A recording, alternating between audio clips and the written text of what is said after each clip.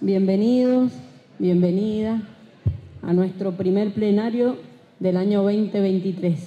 Contarles que ayer tuvimos 930 delegados en toda la provincia que debatieron y construyeron un plan de lucha en cada departamento para que hoy en el plenario provincial podamos volver a tener una síntesis para ver cómo salimos nuevamente a las calles organizados y fortalecidos.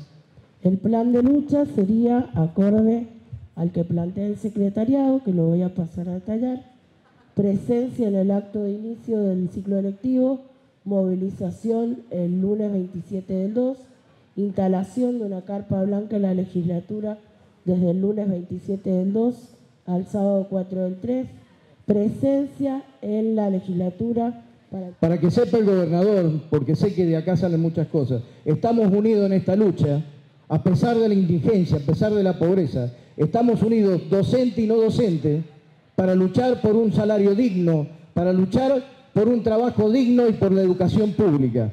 Pero tenemos que construir a partir de este plan de lucha que vamos a definir hoy entre todos y todas, el compromiso de todos los compañeros y compañeras y creo que el desafío que nos tenemos que llevar es de interpelarnos en la escuela para que todos seamos parte de las medidas gremiales que votamos. Eh, en el plenario de ayer se habló muchísimo de lo que queríamos debatir con respecto a qué vamos a pedir en la paritaria. Más o menos resumimos en que sí, tenemos que pedir un avance con respecto a la inflación de nuestros sueldos, que es importante tener cláusulas de revisión, que estaría bueno que el, cálculo no sea diciembre del año anterior, que podamos lograr de alguna forma traer eso un poco al medio del año, por lo menos, para que no quede tan desactualizada. Eh, no al cierre de las escuelas de gestión social, que en Malargüe se habilitó una el año pasado y no alcanzó a nacer y ya la cerraron.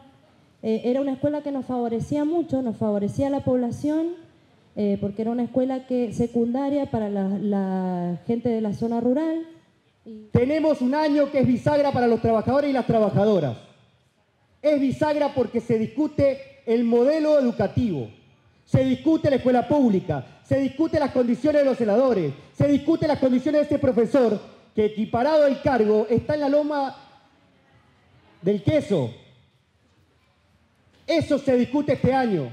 Por eso tenemos que generar la mayor empatía posible para que el lunes podamos movilizarnos, por el 50% de los trabajadores que nos van a aumentar la cuota de los CEP, por los ST que nos cierran secciones, por la modalidad de adultos que cierran secciones todos los días y que han preparado para que desaparezca, por los CEOs, por los concursos de jerarquía. Por eso hay que movilizar el lunes. Tenemos que empatizar con nuestros compañeros y respetar ese proceso. Y hay que hacerlo con la contundencia que necesitamos. Y esa contundencia la tiene un solo sindicato en toda la provincia y se llama Sindicato Unido de Trabajadores de la Educación. Y ese es nuestro mandato.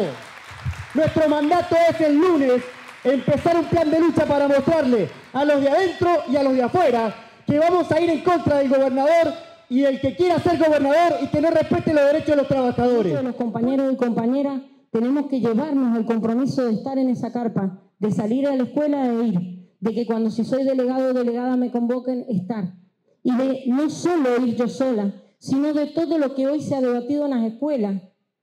Las escuelas estamos perdiendo con este gobierno, pero no porque lo diga el sindicato, porque lo vivimos cada uno de nosotros. Cuando abro la puerta de la escuela lo vivo. Cuando me llega el fondo fijo, que no sé si, comprar una lapicera o comprar un, un litro de lavandina. Eso está pasando en las escuelas de Mendoza. Cuando recién decía eh, Tomás que somos los que más blanqueado tenemos el salario, que no se olvide que lo blanqueamos el año pasado porque nos movilizamos, porque el primer día de inicio escolar estuvimos en la calle y ese debe ser nuestro camino. No podemos dar un paso más hacia atrás. ¿Qué más vamos a perder? Hablaban hoy de dignidad. Por supuesto que tenemos dignidad, por supuesto que vamos a estar acompañando a cada uno de los compañeros y las compañeras. Y lo que no nos vamos a olvidar y lo que sí tenemos que tener bien en cuenta, vamos a defender a los trabajadores y a las trabajadoras y vamos a defender a las escuelas públicas que tengan una verdadera calidad educativa y que tengan condiciones para los trabajadores y los estudiantes que están ahí. Hacia allá vamos, pero vamos a ir con la escuela.